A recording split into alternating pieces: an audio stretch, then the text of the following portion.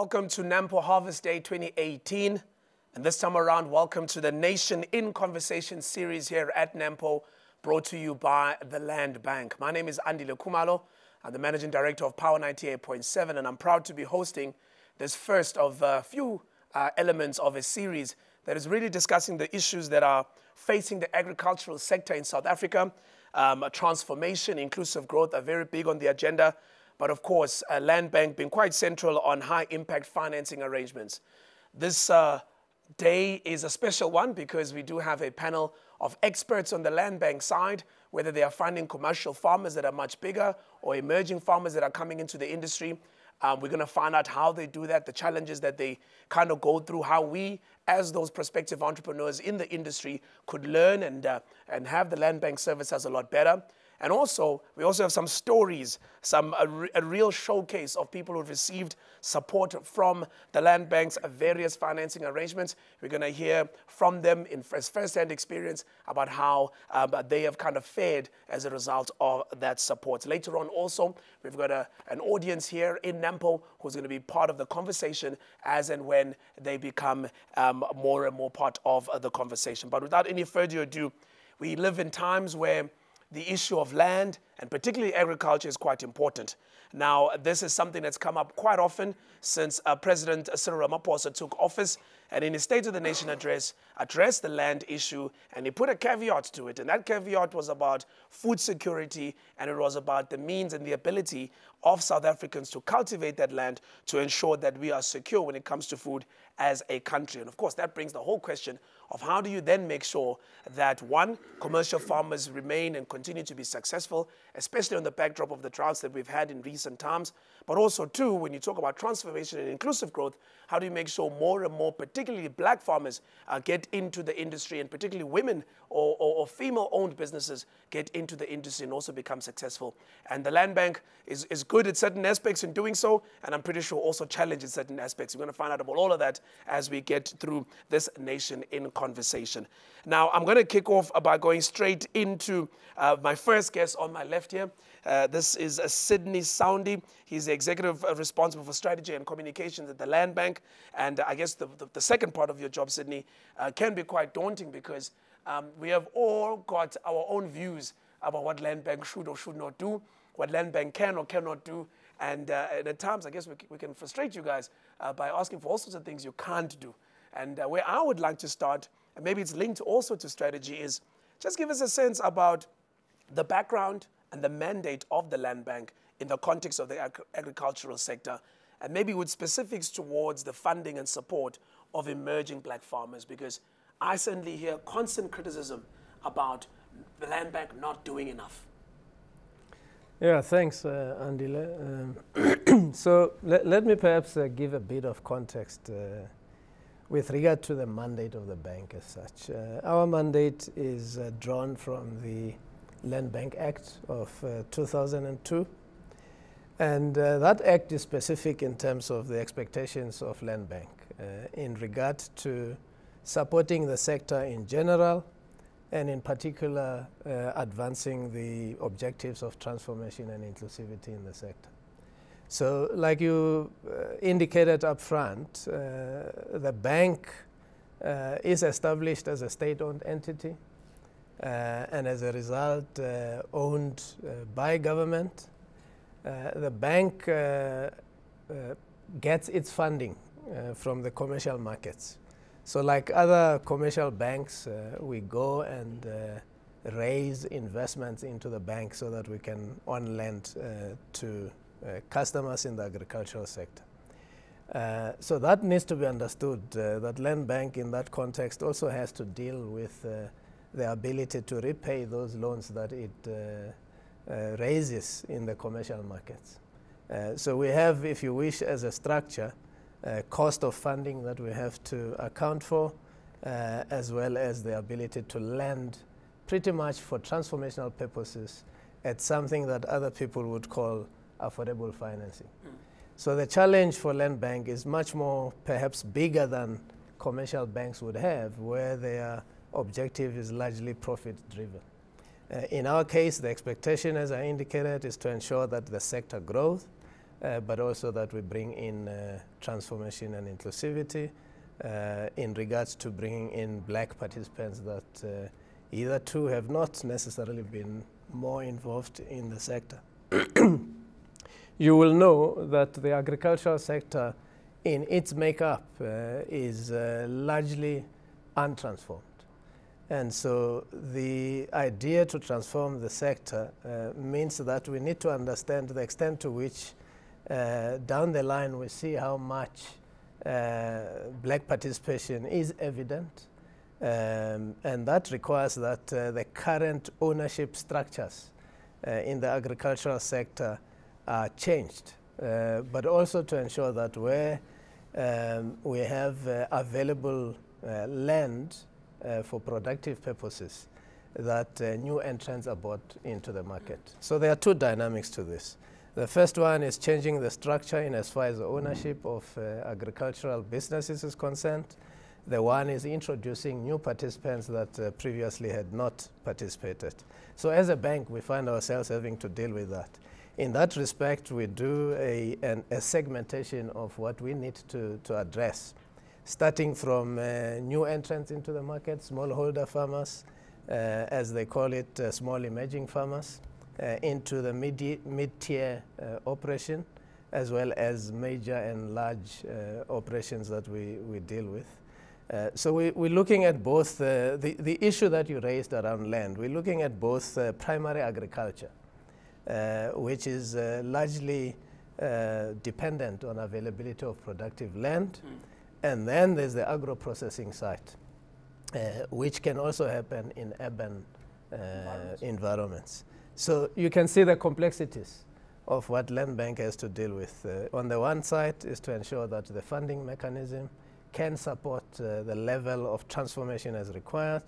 In the next uh, is uh, the ability to transform a sector that on its own is not currently transformed, but which is a complex uh, uh, challenge in relation to changing ownership and then the challenges of land availability right. to, to, to introduce well, uh, emerging farmers. When I speak to Gary a little bit later on, we'll get more into perhaps the commercial farming elements of the bank and how we support on those type of transactions. But before I move from you, Sydney, the, the natural follow-up question is then how do you solve the problem, particularly on the emerging uh, farmers side? Because as you just articulated, if the bank is funded from raising capital in the capital markets like other banks, then you know it's probably likely to be structured more as a commercial banker as opposed to a development funding institution.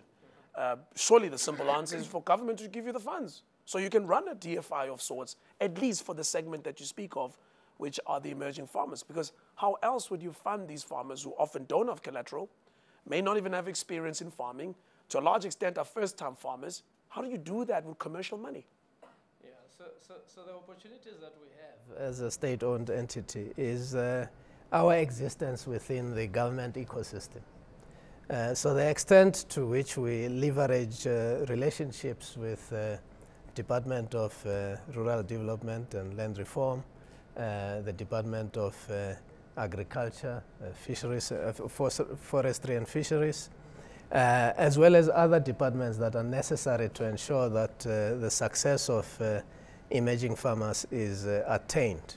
Hmm. What is important uh, to note in this regard is perhaps maybe I should start with uh, the end game to say that in order for emerging farmers to be successful in this space, you need what we have termed a comprehensive support program. Uh, one specific uh, element or program will not necessarily resolve the challenges of, uh, of, of making emerging farmers successful. The point you've raised is that uh, there's an issue of tenure of land. So we need to have uh, comfort around the extent to which uh, an emerging farmer has access to land in a longer period so that uh, that period is able to generate sufficient income to break even. So, so that's the one aspect. The other aspect is the aspect of equity. The point you've raised, emerging farmers do not have uh, wealth in as much as uh, second, third generation farmers would have. So as a result, they need equity. And uh, to that extent, this is where the opportunities to leverage the likes of uh, Department of uh, Agriculture, Forestry and Fisheries uh, to leverage some grant funding that can be utilized to beef up a specific uh, transaction with regard to equity that a emerging farmer would not have. Uh, then there's the issue of technical skills. Mm. Because uh, when emerging farmers uh, start, uh, they start because they have the passion to get involved in the business, but they probably do not uh, have the requisite expertise and experience because they haven't operated uh, in that generation of previous farmers. So to that extent, you need some form of an extension service that is provided not only uh, by uh, cooperatives and people that have an interest in the value chain yeah. uh, for that specific farmer, uh, but it is also the likes of DAFF who would provide extension services to assist these farmers to be successful. So, so you'll see that, I mean, we're talking equity, we're talking technical uh, yeah. skills, and indeed the most important part of that is that we must have uh, access to markets. Uh, and uh, depending on the nature of the business you get involved in, um, and especially, for example, if you get involved in cash crops, uh, if you don't have immediate access to markets, uh, you'll have rotten stuff being yes. produced and not being distributed and wasted. So the access to market is also another important aspect. So the point I'm making is that uh, there isn't a single aspect. Indeed, uh, financing, which relates to equity and our ability to afford uh, debt to these customers at an affordable level uh, is, is, is, something that uh, would make this uh, sector successful. Land Bank, as a result, has established a program uh, to subsidize uh, interest for farmers that get into the market. Okay. So instead of advancing facilities at commercial rates, uh, we do our own uh, assessments and calculations, and we realize this debt would have been uh, financed at this specific level of pricing. We then say, but given the need to provide this uh, financing at an accessible uh, or affordable level, uh, we need to subsidize this component. Right. So the support we can get, which we are slowly but surely getting from our ecosystem in government, is to assist us to close that gap uh, relating to equity, but also relating to subsidizing uh, the, uh, the interest uh, so that finance afforded to uh, farmers can be at an affordable price. All right, let me move on to Gary, who's responsible for corporate banking and structured investments at the Land Bank. Gary, this dual mandate, once again, I guess your primary job is on the other side of the dual mandate, and maybe not the one we've spoken about uh, so, so much. But you know, the one can't survive without the other. And a big part of your job is not just structuring and coming up with the right financing for the bigger transactions. The other part of your job is also make sure that those linkages and those intermediate relationships actually work so that we have more and more farmers into the value chain. Talk us through some of the activities of your division. So, the, the corporate banking and structured investment division uh, is, is effectively structured in a manner that um, provides traditional corporate debt to larger agricultural businesses, um, but also structured investments. And encompassed within structured investments is the bank has, over the last 18 months or so, embarked on a strategy whereby, um, as a principal investor, it co invests alongside uh, uh, black industrialists be partners like, uh, uh, like Masimong here um, to, to effect meaningful transformation across large agricultural corporates. Um, what, what we found is, is there is a significant willingness amongst, um, um, amongst the agricultural sector in South Africa to, to transform. What there hasn't been hitherto is creative solutions to, to, to enable or affect that, that, that transformation. Um, and and by, by being able to, to, to invest equity directly into agricultural businesses, um, but also equally importantly in, in, in affecting that, that investment, providing financial support and funding mechanisms to, to, to, to black owned companies um, to, to come in and buy shares or, or, or, portions of the business alongside us. Um, we, we, we find enormous appetite in terms of commercial farmers to execute those transactions, but also increasingly amongst black investors to participate across, across the, the agricultural value chain. Um, and and when we invest our capital, what we're, what we're finding is, you know, it's, it's, it's one thing to transform at a shareholding level. Um, but, but in effect, what we're seeing is, is, is that transform, transformation is actually happening, happening through, through, the, through the business. So it, it's not just about changing the shareholding, it is about ensuring that um, from a transformation and inclusivity perspective, there's sufficient representation um, uh, uh, in respect of black management. Um, that the, the, the employees are, are able to participate through employee trusts or, or, or, or share, share structures in, in the profits that are generated by the, by the business and, and, and that they're able to uplift themselves from the, from the dividends that, that, that flow from these, these very successful, um, well operated uh, uh, businesses. Where do you think, where do you think Gary, um, the appetite comes from? You know, many critics of black economic empowerment will say, oh man, 24 years on, you know, transformation is happening as fast um, white people who have all the assets, and I guess in your industry, it's, it's, it at least optically looks like you know it's overwhelmingly white owned. They don't really want to share. They don't really want transformation. You've referenced twice. You've said there's a willingness for the industry to transform, and you've said there's also appetite um, for these historically white-owned businesses to want black investors. Where do you think that comes from? Is something about agriculture? Is something about farming? So, I, you know, in, in, in my experience, um, it, it's it's driven predominantly by two, two factors. The one is, is, is, a, is a values issue where, where you have large, sophisticated agricultural businesses that are traditionally white owned that have come to recognize the, the injustices of, of, of the past and, and the effect that apartheid has, has ha had on, on, on our country and our, our economy.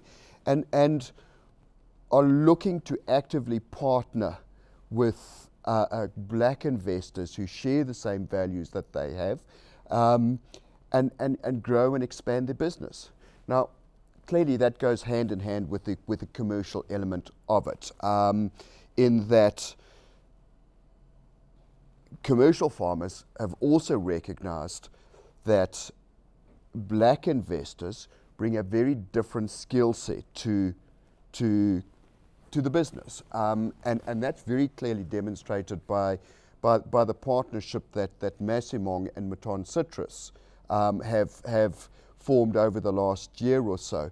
Um, and, and, and the black investors we're talking about are sophisticated investors in their own right. They're corporately savvy, um, and, and they, they, they bring a, an enormous and a significant strategic thinking um, that you know corporate farming organizations ha perhaps haven't had in, in, in the past. And, and in, in, in the transactions that we've executed over the last 18 months or so, um, we, have seen the synergistic benefits of, of, of that uh, uh, work enormously uh, uh in favor of both the, the, the, the commercial farmer and the black investor who's coming into the business.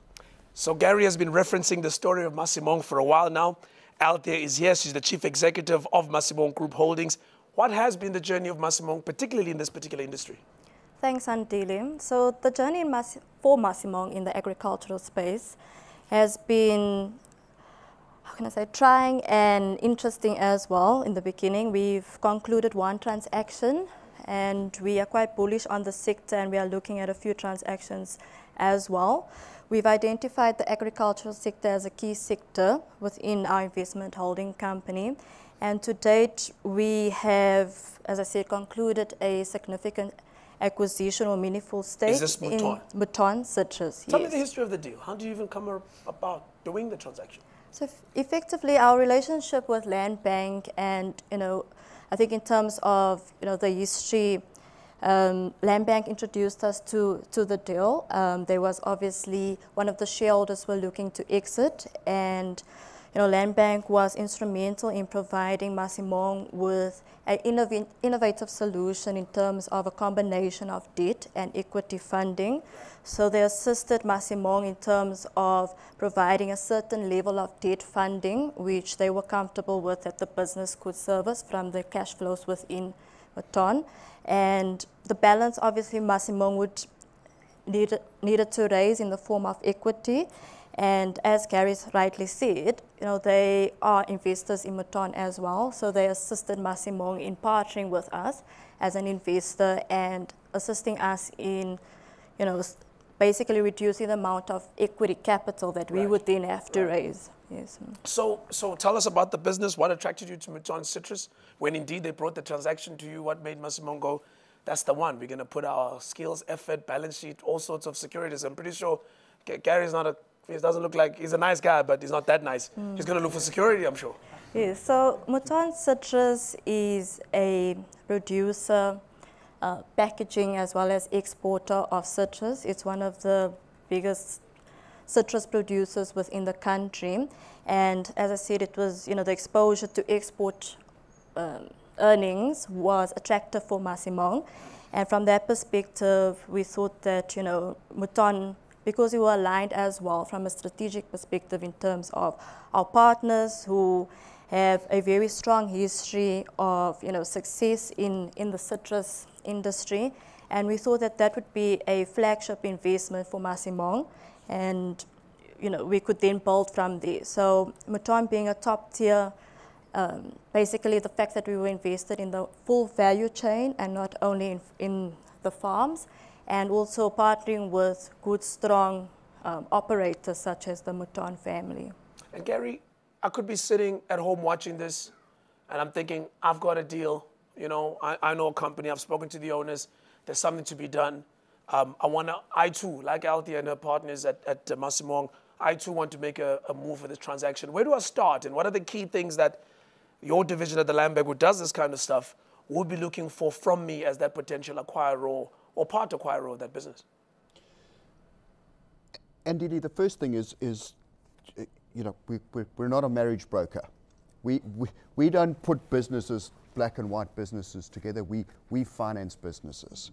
Um, and, and that, that being said, um, where, where the, the, the, commercial farmer and a black investor are, are, are, are willing to do business together, um, we, we, we look for a couple, couple of specific, specific things. The, the first one is, is, is the viability of the existing business. You know, ultimately, we invest for predominantly th- three things. We, we want to see agricultural economic growth. We want meaningful transformation and in- inclusivity at a shareholding level, but also operationally. Um, and, and, and thirdly, we, we look for sustainable employment and job, job creation. So, so those are the, th- the, the, the three core things that, that we look at in respect of any investment opportunity that we're, we're going, to, going, to, going to finance. You didn't mention securities. Does that mean it's not an issue? Se- security is, is, is, is part of it. Um, but, you know, one of the things I think that, that we've achieved reasonably successfully um, is, is the fact that, you know, when we finance BE companies investing into these white agricultural businesses, security, sure, that's, that's a component of it. You know, we're a bank, and at the end of the day, we, we need to be certain that, that we will we'll get our money back in terms of who we're lending it to.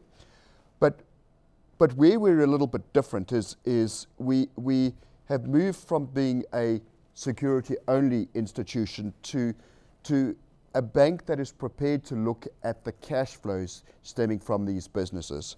And in the case of Mouton Citrus, you know, it's a multi generational farm. It's one of the more uh, in, in, in our opinion, one of the more successful, well-run, professional citruses businesses in South Africa with a long established track record of operational performance and excellence. And off the, off the back of that performance, we were able to take a view on the fact that if, if, if Masimong invested into this business and we lent them money to do that, that the business itself would generate enough revenues and free cash flows to ultimately repay any debt that we had in the in the business. So that's that I think is the fundamental change that that we've affected over the last year or two within the within the land bank. Just to add on to Gary's point, so effectively, you know, the reason why, well, one of the reasons why, you know, this opportunity was attractive for Masimong, um, besides being bullish on the sector, uh, along with mining, as I said, and financial services, you know, from a debt capacity, we were comfortable to take a certain level of gearing against, you know, potential cash flows without putting too much pressure on distributing those cash flows outside out of Mas, of Mouton, because obviously Mouton, as a shareholder Mouton, would also have to think about future expansion and all of that. So it was about getting that combination of equity versus debt, um, the gearing effectively correct and not over gearing ourselves as Masimong as well as the business or the cash flows within Okay. the entity that we invested So, in. so you're currently on 35% of the business, as I understand. What are your plans for the future then? So effectively, we on 18%, but we do okay. have an option to acquire up to 35% Oh, I effectively. Okay. So I yes, guess sir. the plan is to get to 35. Yes, yes. So Land Bank has obviously partnered with us from an Right. equity perspective. So yeah, we then have an option to to acquire. that. Okay, sounds good. Sounds really, really good. Let's move on. Steve Baki is my next guest. Um, he's also an operator and a client, an operator rather of an agricultural business and a client of the Land Bank.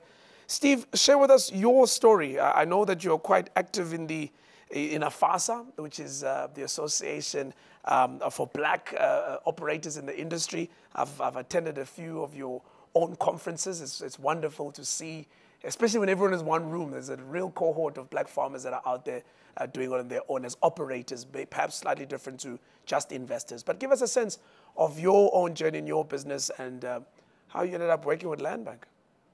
Thank you, Andile. I- It's a, it's an emotional story to tell. In I've got my tissues. Don't you worry, Steve. Okay, okay. In, in the sense that uh, when you are to introduce yourself as an emerging uh, African farmer, uh, you definitely must put, you know, the context of the journey. We, we got on the farms. I'm saying on the farms. I'm representing the many people who are not here.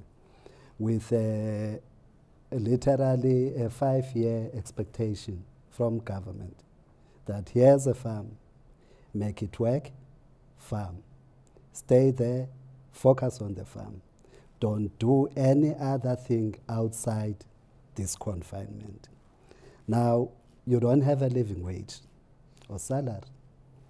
You, you've got university kids to cater for. You've got medical bills. You've got the inherited workforce to deal with.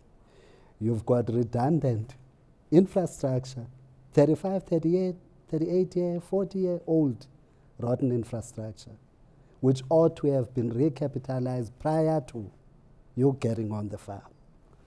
Now I'm saying at an operational sense as an operations person. You sound like an operator. Yes, this is the reality you find on the farm. Right. What Steve did. Steve talked to government. Government, you promised me recap. I'm on the farm. I've got my little kit of the little millions I came with. But it's more or less two years now.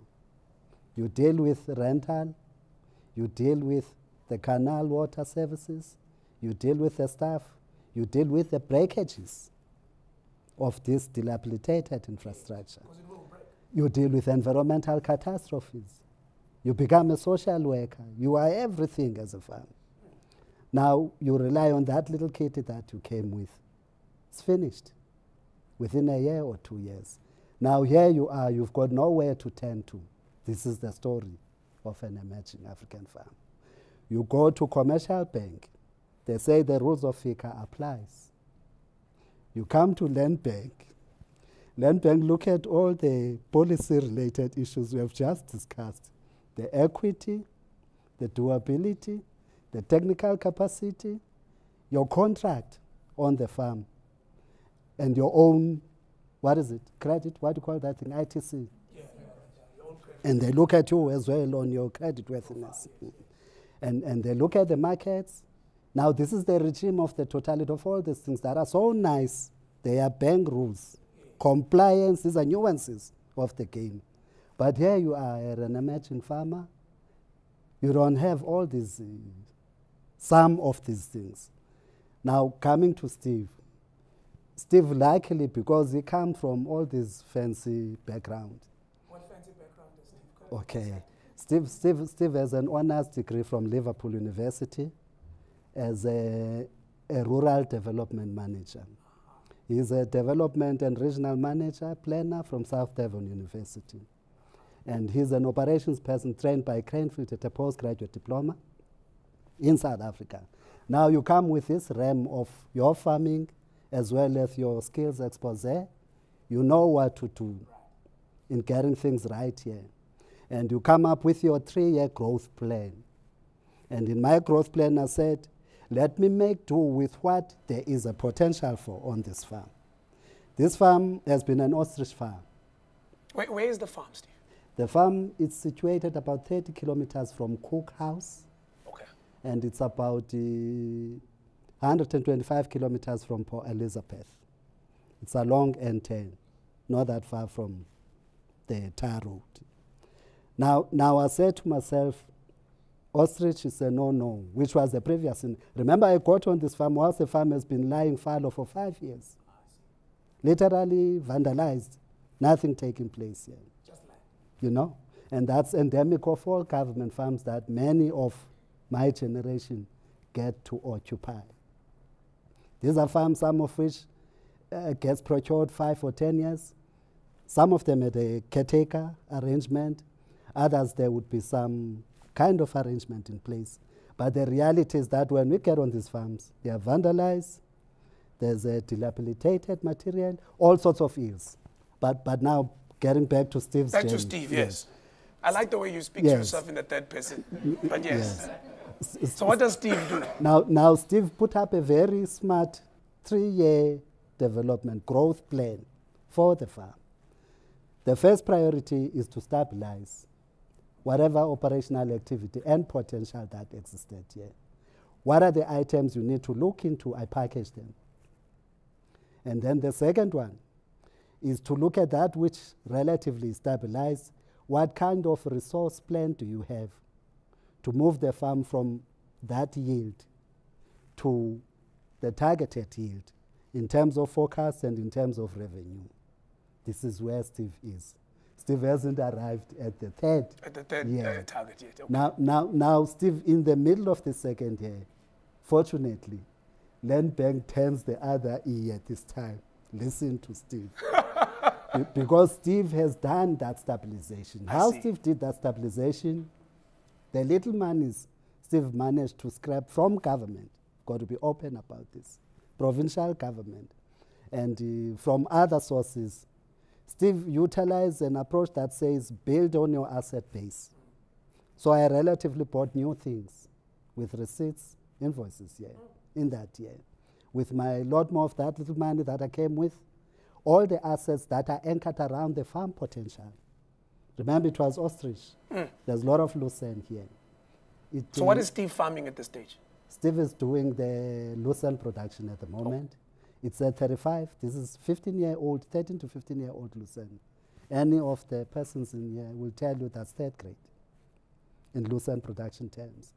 So Steve said, okay, let's stress on this, stretch on this potential and move this lucerne relatively to 89 hectare focus. Now, in the crop studies we did, it was told to us anything from 18 to 20, you will break even in lucerne production. Now you can imagine coming to Land Bank and Land Bank listening to me. I'm stretching a farm from 39 old lucerne to the new additional 40% of assistance I get from land bank capital investment on the farm. This is putting up new pivots, uh, optimizing the irrigation system, and on electricity as well. Because when I inherited the farm, there's a lot of electricity wasted on the farm. Now I'm using land bank's money to optimize even on that electricity so that I utilize the net electricity that's required to drive the production targets I'm looking for on the farm.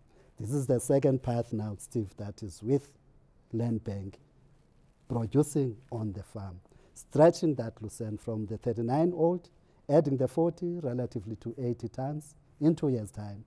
Steve will be in a millions bracket business and no more on a shoestring budget. and uh, That's Steve, is it? Previously, in that first year to second year, right. premised on subsistence income of not knowing what tomorrow will be, right. and pray for the next month as if God will do this miracle. Right. It doesn't. But Steve, I have to pause and ask Steve a question. I like this third person thing. what makes Steve persevere? What, what, what, what makes Steve persevere from those days um, as you rightfully painted the picture when you first took over the farm with the people you came on with, um, you know, no, no lack of consistent income, children in university, but you really want to take on this opportunity, particularly Steve with very impressive qualifications. Steve could quite easily go and get a job somewhere and pay for his kids' school education. Why, why, why, why persevere? What's, what's the driver? I think it's a, it's a sense of hope on land bank in particular. I mean, I've, I've, I've, dealt with Land Bank. The CEO was here some time back. Kamia? Was it Kamia? Yes, I've dealt with the CEO. Land Bank has got all the nice policies, mind you. Very nice policies. Policies that complement government, national development plan in the country. But what's lacking is the institutional capacity that must talk to the development plan priorities on how to radically complement the requirement of an emerging farmer and customize that to the required indicators that best lift our economy locally. Those are the ingredients that are not yet there. I, I will talk to a length of plenty of the issues on how Land Bank can turn this BE vehicle to best serve the commercialization of an emerging farmer and put up a clear maturity path with clearly graded systems and that's the industry sector complement. And we drive this thing with associations and us as chairperson of land reforms in the district, we can make our country work and grow the agriculture, utilizing most of this potential that lies mm. with these emerging farmers. So, so I asked um, Sydney a little bit earlier on about the issue of criticisms that could easily be thrown around the land bank. You, by clearly working hard, and when the one ear wasn't listening, you made sure that you come back with your own stabilization plan and your own future plans. So it's easy for, certainly for me to start seeing the reasons why perhaps a land bank started listening. What key tenets or key takeouts or lessons that you learned in that journey that maybe you can impart on other emerging farmers as and when they go and seek such support? Because you know, generally the view is, oh, I don't get any help. You know, I try and nobody really listens to me or no one comes back to me. And and all sorts of, uh, of, of, of, criticisms that come up. And I'm pretty sure some of them, as you've rightfully said, may very well be warranted. But there are people like you who've succeeded in this mm. stuff. How did you do it? And how can yes. the rest of us do it? Definitely, there is that talk at the moment. More so, I'm one of the leaders at a district level. But I, I, I, I, I tell them a simple logic go and work at that which land bank points to. Don't come and do the hostile mark time approach that this is, a, you know, a fatalistic attitude. It's not going to work. They are not listening to me. Pick it up.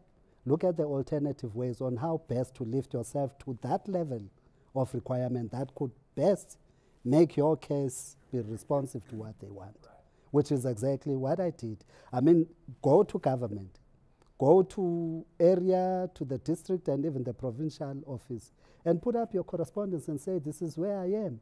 You are also part of the stakeholders who are the closest pillars to me. Let's get on this thing, let's make it work. And, and in my case, that's the combination of all other forces close by to me I could cry out loud to, which I utilized, and they managed, together with my plans, to swing the ball back to Land Bank.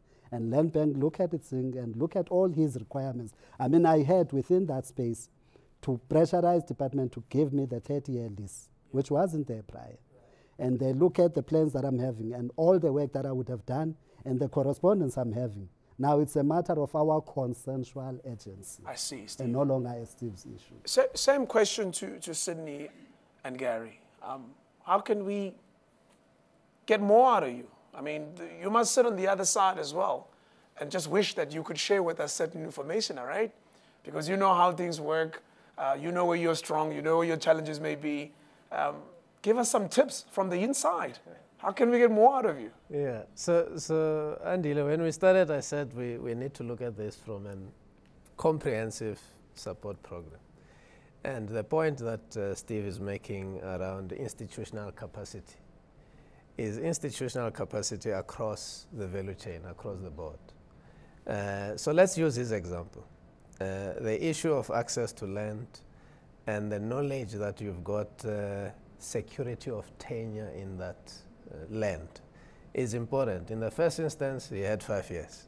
Five years is not good enough uh, to turn a business around, particularly in the state in which he found it. There's an issue of recapitalization of land that was previously owned by government. Uh, to expect an emerging farmer to put his own capital into correcting what was already dilapidated uh, is an issue that requires address. Uh, and so as you can see from all of these, uh, there are a variety of institutions that needs to be coordinated uh, to deal with this particular aspect. From our side, in terms of uh, the funding model of the bank, we are grappling with that as an institution, having conversations amongst ourselves with the shareholder, uh, who is National Treasury, uh, around how best we need to model the funding for the land bank. Because as as it is currently, it's, a, it's commercially, largely commercially funded. Very minimal uh, support structures from a grant point of view. Sure. And uh, if you are to redress issues that Steve has spoken about, you will not be able to do that with capital that requires returns. Uh, and so, to that respect, I think uh, if we can get some support, it's support from uh, institutions uh, and representations that uh, the likes of Steve have, uh, yourselves, and industry in general, to talk about how Land banks should be improved in its funding model to particularly address that aspect. The president, for example, uh, in, in recent times, uh, made a comment uh, in parliament that uh, there's probably a need for a state-owned bank. Uh, we, from our side, think that there's also a need for existing state-owned enterprises like Land Bank, Post Office, the Post Bank, and so on, IDC and the like, uh, a, a, proper reflection of what for each specific sector is required in order to leverage sufficiently the capabilities that that institution can deliver. In our space, we think that Land Bank is ripe now for that review uh, to the extent to which uh, it can be supported mm. in order to be able to address the aspects that Steve is Ripe for review. Gary, you want to throw in some more? Yeah. Um, Andile, I, I, I, I think Sydney, Sydney's right. Um, in the short term, though, because some, some of the, the reforms we're looking are, are, are, going, to, going to take time, and particularly from an emerging farmer perspective, uh, excuse me, you look at, at, at, at Steve's case, uh, uh, for, for example, um, you know, the first thing is, is, is, is a passion and, and, and, and perseverance and, and persistence. Um, I, I, I suspect Steve would not be where he is today if, if he hadn't been as driven as he was to, to succeed. Um, I, I, th I, think he's also right in the sense, though, that, that solving the, the emerging farmer quandrum, uh, uh for want of a, a, a, better word, is, is, is it needs a multi-pronged approach. You know, Land Bank definitely has a role to play, um, but but Steve was very proactive in terms of talking to national government, provincial government, local government, and ensuring that that he got support to the extent that Land Bank was then able to provide the funding support. So things like a, a, a tenure, um, recapitalisation of the of the of the existing farm to improve the asset base and and, and, and soil quality. Um, bringing all of those things together is is is an intricate and, and, and time consuming effort. Uh, and, and to be frank, you know, we, we as Land Bank and government agencies are probably not as effective at, at, at facilitating that as we, as we should be, but it, it needs an integrated approach to, to solve it. Okay. All right, ladies and gentlemen, we're going to pause there on the stage, and I'm going to allow our live studio audience uh, to throw in and weigh in. Perhaps we'll take three questions from the floor, which uh, you can throw to any of the panelists. You can be specific about who you'd like to respond to the question, or you can just throw it in there and I'll uh, take the responsibility to allocate it before we wrap up our Nation in Conversation. Um, yes, sir, we've got one hand, we've got two hands, we've got three hands. Please tell me your name, where you're from, and what your question is. Uh, good morning, thank you very much. Um, I'm Jack Palmer from Free State Agri.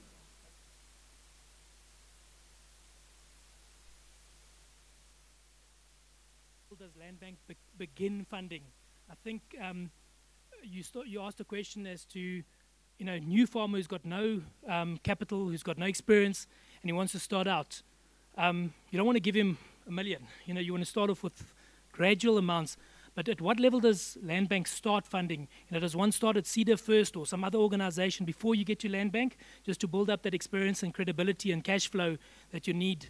Um, and then the second question is, um, no one's mentioned the role of commercial farmers and um, production partnerships and the role of a commercial farmer in, in giving that support to the, the Land Bank emerging farmer just to help him get, get, get, get, his feet on the ground and to give that kind of mentorship support but often it's, it's a production partnership sort of gives a, an incentive to the commercial farmer as well because he's got a stake in it. He's put in some money, he's put in some capital, he's got a share in the profit, and the better this farmer, the emerging farmer does, the better he'll also do in his share. Thank you. Thank you, Jack. Please pass the microphone. Thank you, sir. Good afternoon. Good afternoon. My name is Keith Middleton, also an emerging farmer, also part of AFASA. And my question is simple to Land Bank. I mean, it's not the first time we're hearing about the, the so-called uh, uh, uh, um, method of funding that they have. I mean, it's years coming in the making. And we're still sitting with Land Bank grappling with how they're going to fund. It's actually uh, quite disturbing from where I come from, where I sit. I think it's, a, it's about time we got together as a sector and thrashed out these issues because clearly it's a multifaceted approach that we need to, to have with all stakeholder involvement. And, uh, you know, as Andile said, uh, uh, sorry, as uh, the gentleman, Sydney, mentioned about uh, where we come from as, Steve, sorry, Steve mentioned, where we come from as emerging farmers. It's totally, totally wrong, if I may just use that word, because we on the back foot already been black farmers. And then to be still dogged with all these funding challenges and all the other uh, uh, uh, getting farms that are bankrupt before you start. So it, it's really, we really need to think differently, change our approach of how we're going to take this thing. Now, with the issue of land expropriation without compensation, that's hot on in every news bulletin, if I may say. it's time that we really start now coming together. All right. And start putting our heads together and finding solutions that are going to work and that are going to have inclusive growth. Thank you. I got you, Keith. Please pass the microphone, gentlemen, just behind you. Hi, it's Elaine from the Land Bank. I just wanted to get um, more feedback from, from both Althea and Steve. Althea, um, Masimong's investment, how is that translated into um, greater empowerment for more black people? Maybe you can just expand on what Masimong's doing in that regard. And then uh, to Steve, you've got a great story. Thank you for sharing. Uh, I just wanted to check what's, what's, what's next for Steve? What's next for you? I like the way you asked that. What's next for Steve? Because you're still talking to him in the third person. He's some other guy, he's not the guy in front of us. Thank you so much for those questions. really hot questions, and we're going to try and get through them as quick as we can. We only have uh, a limited amount of time. Jack is asking one, at what level do you start funding? Do I need to go to other small financiers before I come to the land bank? What's the number? I think that's relatively quick. And tell us more about the partnerships where you are pairing established farmers with emerging farmers. Maybe that's a good question for any of you guys. Yeah, per perhaps let me start off. Uh, the, our, our, approach is commercial farming. So as soon as uh, a business case has commerciality, we start there. There isn't a specific amount that will say, no, we don't fund below a million, for example. Because in some instances, you find that an operation already is in existence and its requirements may well be only 300,000 or 500,000 to beef up what already exists. Okay. In some instances, it's uh, initiating the business up from scratch. Okay. Uh, so there isn't anything that says this is the minimum, but uh, the commerciality of the operation is what determines okay. it. Uh, and in as far as uh, involvement of uh, commercial business, existing commercial business is, is, concerned, we have examples of those transactions, similar transactions where we have had a commercial farmer that uh, gets involved with uh, a, an emerging farmer or in some instances, in fact, even with uh, farm workers to establish a business and support it in the form of technical support, insurance, capital, as well as access to market. I'll give you an example of a farmer we funded uh, out uh, in Limpopo in the dairy business, uh, where they had the opportunity to extend the business in acquiring new land, and they've set up as an, an SPV between this commercial farmer, white commercial farmer, his staff members, into an entity that purchased the extension of the land. So the profitability that is made with uh, the new uh, production is shared between the farmer and, uh, and the farm workers. So we've got examples of that, but I think the basic fundamental that Jack is trying to make is that uh, industry, uh, the agricultural sector in general, cannot succeed if we operate still on the basis of uh, exclu exclusivity.